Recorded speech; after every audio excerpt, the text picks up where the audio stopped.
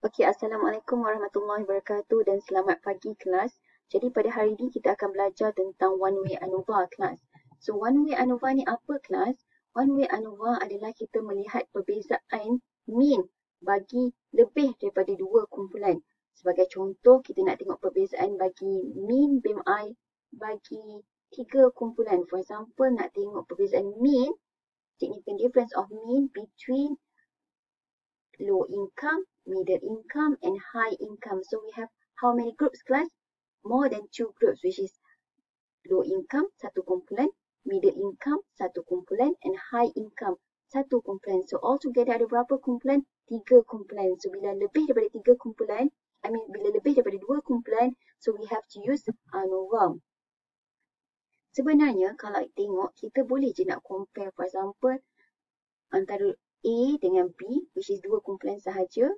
Um, okay, okay, sebenarnya sekarang kita ada tiga kumpulan kan A, B dan C. Jadi kita sebenarnya boleh je nak buat compare mula compare A dengan B. Lepas tu baru kita compare A dengan C.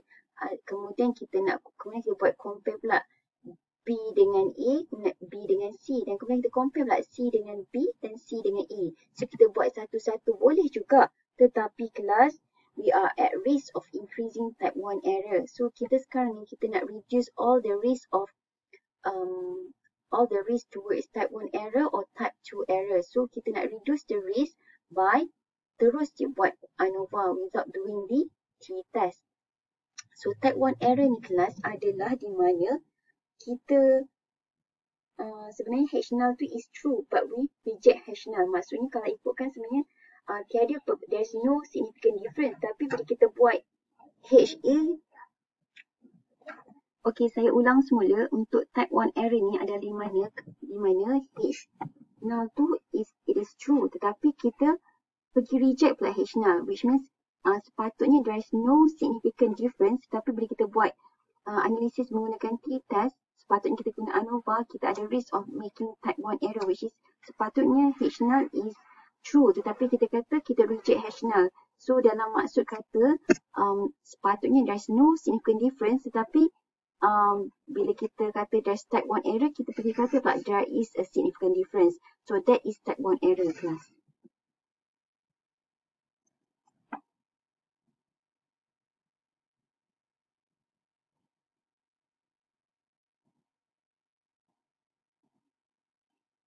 Okey, apakah yang data yang diperlukan untuk you run one-way ANOVA? So, of course, yang pertama sekali kena ada dependent variable class.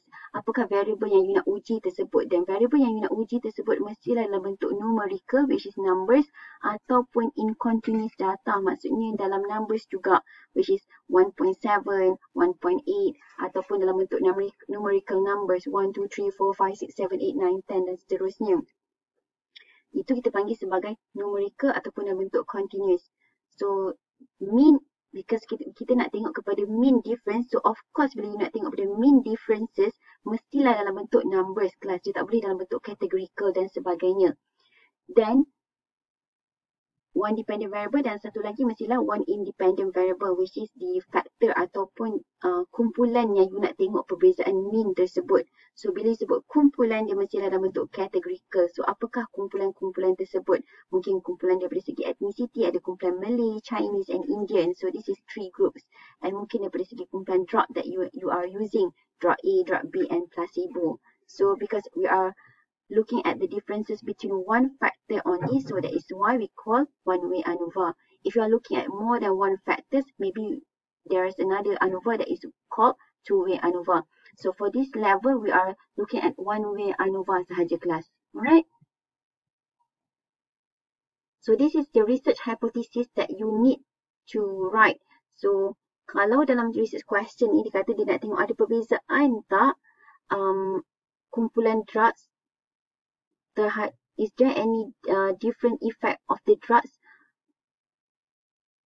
Susah pula dia punya uh, hypothesis statement ni. Okay, so kesenang kata, uh, we wish to know if there any um, differences in terms of mean BMI between um, between ethnicity, between Malay, Chinese and Indian. Nak ada perbezaan mean BMI tak antara kumpulan Cina, Melayu dan India.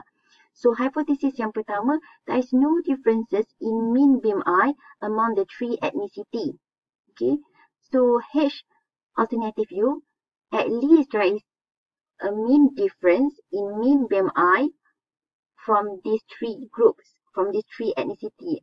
Okay. At least there is a mean differences, at least there is a mean BMI differences among these three groups of ethnicity. Okay kelas, jadi you faham eh, so you kena ada research hypothesis tu by writing down what is what is your H null hypothesis and what is your HA of HA hypothesis.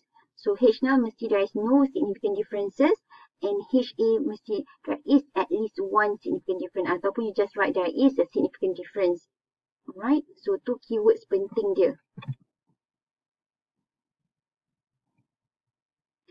Jadi before we run ANOVA, we have to look at the assumptions. So there's a few assumptions yang you kena tengok. There are five assumptions yang you kena tengok. Pertama, you punya dependent variables are numerical. So it means because we are going to look at the mean, so it must be numerical in numbers. And then melibatkan random samples that is looking at how you is looking at your study design, how you pick the samples. And then the group must be independent of each other because we're looking at different groups, right? So because it is not a pair t-test or something like that, so it is independent. So um, assumptions yang keempat adalah um, the, observ the observation are normally distributed. So kalau you pakai central limit theorem, kalau lebih daripada 30, kita kata normality is assumed. So this is assumption. So kalau you nak check betul-betul, you have to run the um, you have to run the normality test. Okay. So bergantung kepada researcher masing-masing. Normal ada yang suka pakai SLT theorem which is central limit theorem tu untuk assume normality. Tapi ada juga yang nak lebih precise menggunakan test of normality because we are not assumes because we are not assuming kita nak betul-betul bahawasanya it is normally distributed by doing the normality test. Dan yang kelima kelas kita kena tengok equivariance among the groups. Are are the variances uh, are equally between one group and another group. Okay, so we can do that by checking the Levens test. So this is how to run SPSS in, in SPSS. Is how to run. How to run ANOVA in SPSS. So kita dah belajar ni dalam lab. Alright, so um, dalam lab kita uh, ada lagi satu benda penting yang saya tertinggal which is homogeneity of variance test. So kita kena tengok homogeneity of variance test. Maksudnya nak tengok homogeneous bagi setiap variance, bagi setiap kumpulan. Kita ada tiga kumpulan.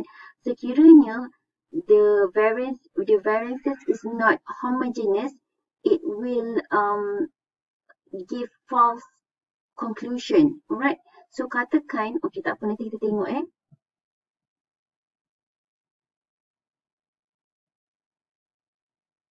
Okay, this is the um, result of the um, test, ANOVA test. So, you tengoklah dekat sini macam saya ada beritahu dalam lab before. So, tengok kepada test of homogeneity ni kelas. So, dia punya significant value is 0.795. Bila 0.795, it is more or it is less than 0.05, it is, it is more than 0.05. So, bila it is more than 0.05, it is not significant. So when it is not significant based on null hypothesis, variances is equal. There is no differences in terms of the variances. So assumption is met. Okay. So bila you nak tulis ANOVA di dalam table, you eh bukan belum, belum lagi lah. So this is the significant value of ANOVA. So kalau you dapat significant 0.00, it means that it is less than 0.05. So when it is less than 0.05, it, it means that there is at least one differences. There, there are at least one of the mean is different of the other means. So bila ada significant je, you have to run post hoc analysis nak tengok which kumpulan is different from which kumpulan. Okay. So kalau dalam lab kita belajar, kita akan menggunakan Turkey test lah kelas. Right.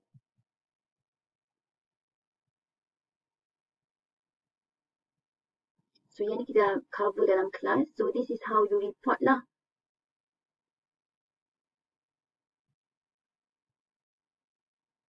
Okay, this is the table on how to present ANOVA test. So you have to you have to write down. For example, this is type of drug. Kalau you tengok uh, kalau you tengok kumpulan ethnicity tadi, for example, kita tengok differences between um, BMI between ethnicity. So we have to write here down is ethnicity and then it's Malay, Chinese and Indian. So berapa orang Malay, berapa orang Chinese, berapa orang Indian and then mean BMI bagi uh, Malay, mean BMI bagi Chinese, mean, mean BMI bagi Indian. So you dapatkan F statistik dia berapa and then you put the degree of freedom and then you masukkan nilai P value dia dekat sini. Alright. So this is the way how you present the ANOVA table in your report. Okay. So I think that's all for ANOVA. Right. Okay, cumanya tadi masa kita buat ANOVA, kita uh, test homogeneity of variance. So kita nak tengok variance tu homogeneous ataupun tidak. Homogeneous tu maksudnya uh, dia equal ni. Sama ke tak dia punya distribution of variance ni. So macam you all masih ingat variance variance ni adalah perbezaan apa kelas? perbezaan um, perbezaan um, perbezaan what we call perbezaan a group of observations ni dengan their respective mean. Macam saya beritahu hari tu kalau you nak tengok perbezaan you nak tengok BMI bagi sekumpulan responden you ada 20 orang and then you kira purata BMI dia you dapati purata BMI dia 19. So each of the respondent contoh responden pertama tadi uh, BMI dia 15, 15 dekat sini tolak dengan 19. Responden yang kedua katakan BMI dia 23. Jadi letak dekat sini 23 tolak dengan 19. And then responden yang ketiga BMI dia 27 katakan tolak dengan 19. So hasil tambah, this is the formula for summation. Hasil tambah perbezaan tersebut and then bahagi dengan n tolak 1. You akan dapati variance dia lah. Okay, tu variances. So kalau kalau uh, standard deviation adalah square root of the variances. Okay, kelas kalau you tengok dekat sini, this is what we call homogeneous variance. So, kalau tengok sini, variance is equal to 5. Yang ni pun variance is equal to 5. So, tak ada masalah. So, it is homogeneous. So, dia punya, it is equally um, assume, it is, uh, the variance are equally assumed, kita kata. Okay, yang ni pula contoh heterogeneous variances. So what happen when heterogeneous variances, even though their mean is um, similar, 100, 100, tetapi dia punya dispersion of variances ni uh, berlainan. Satu variances is equal to 169, satu lagi 289. So bila yang ni adalah refer kepada uh, IQ scores. So bila you letakkan satu penanda aras dekat sini, which is IQ more than 130, dapati uh, untuk yang 289 punya variances sebanyak 7.5% yang IQ melebihi 130. Untuk yang IQ melebihi 130 bagi uh, variances yang ni hanyalah sebanyak 2.5%. So it is not equal bila kita dapat jumlah peratus itu. So that is why kalau untuk ANOVA and then t-test kita kena run uh, living test to make sure the homogeneous of the variances are equally assumed. Okay class? Hopefully you faham tentang kenapa kita kena run homogeneity of variance. Alright, thank you very much class. That is all for ANOVA test.